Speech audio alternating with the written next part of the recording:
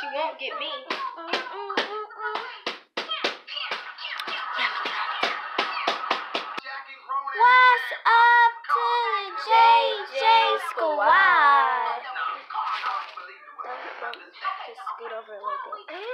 So I'm going to teach you guys how to do your round off back tuck.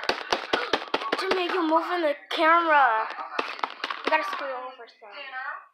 Can you scoot over? You getting powder everywhere. Okay. Thank you. So this is how your back round back tuck should look like.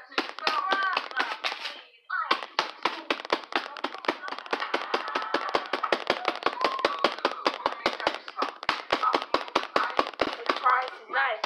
I ain't never really had a bad day in my life. Oops, ouch. That's how your round back tuck should look like. So let's get started. So y'all, actually I am finna, I told you my back round and back tuck, right? So first you want to start off with your back handspring.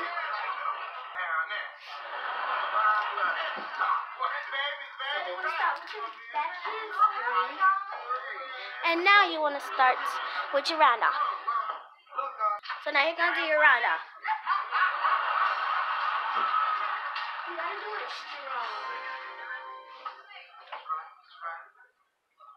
You.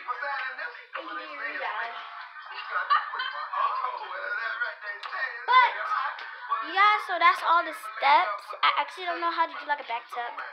I can do it off the couch. Because that was a strong round off back tuck, so you can just get to the skill.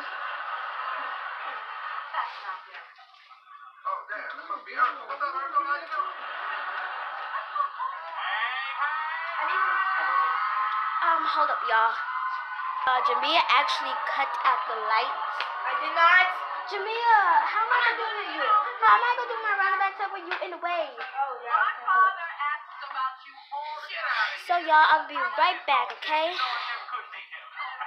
Sorry guys, I had to put the light on. So this should your round back tuck look like. Don't mind me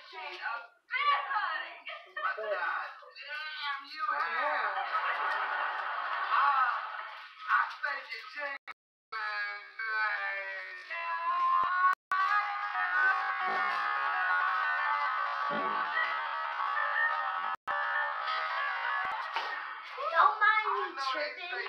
Um, my.